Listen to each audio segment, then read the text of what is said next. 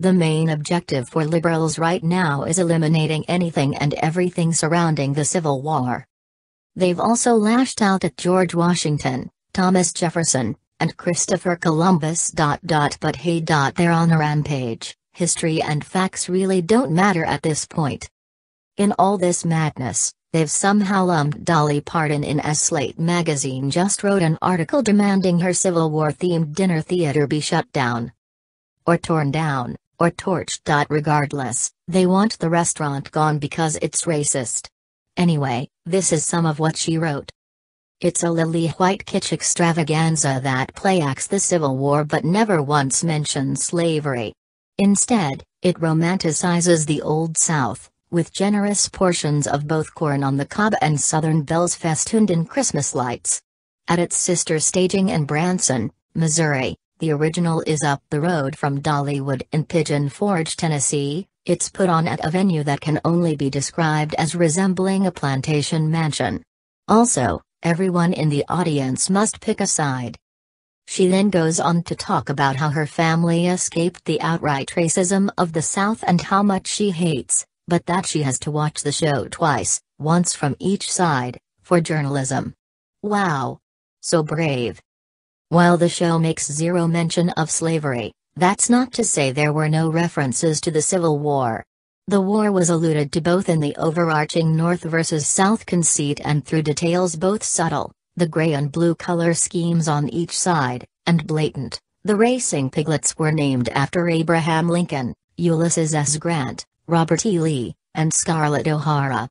Dolly says that the show is about bringing back those good old times, referring to her childhood, but of course she wasn't around during the days of Grant and Lee.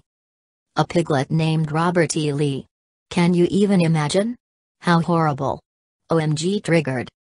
Then she talks about how much she hates the South again, and how she was so brave for playing the games, or something.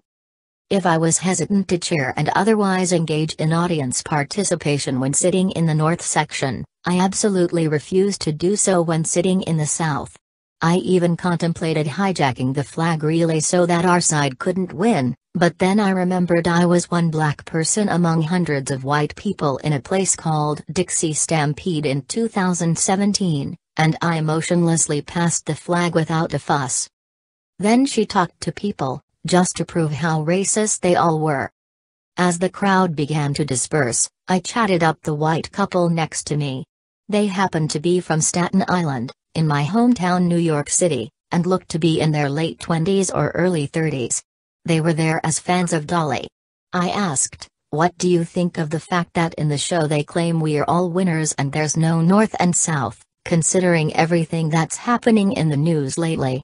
The guy leaned in slightly with a gleam in his eye, Look, it's all bullshit, he said. But that's the way it is down here. If this show were being performed in New York, he said, he'd think it was weird. He then proceeded to tell me that he didn't vote in the last election, Trump sucks, Hillary sucks, and I knew Hillary was going to win my state, so it didn't matter, and bemoaned how we're all ignoring the real problem religion, and are too afraid to call other cultures out for the terrorist attacks happening around the world. The way he dismissed the homegrown terrorism that had occurred within our country just days before crystallized something for me. Dolly's Dixie Stampede has been a success not just because people love Dolly Parton, but because the South has always been afforded the chance to rewrite its own history, not just through its own efforts, but through the rest of the country turning a blind eye. Even though the South is built upon the foundation of slavery, a campy show produced by a well-meaning country superstar can make believe it's not. We'd prefer to pretend to let our deepest sins be transmuted into gauzy kitsch, and no one blinks an eye because that's what they truly want. So while it may be a surprise to the fictional producers of Springtime for Hitler when it becomes a hit, it's no surprise to me that Dolly Parton's very real Dixie Stampede is a hit, too, and has been for almost 30 years. This is the same country where The Birth of a Nation was once the biggest box office hit of all time and where Gone with the Wind still is. Dolly Parton is right about one thing Dixie Stampede is as American as America gets. Good grief. Get over yourself. These people are legitimately hoping to be offended at this point. This chick tried so hard to be outraged, and barely just squeaked by with sort of miffed. Good for you, Aisha. Fighting the good fight.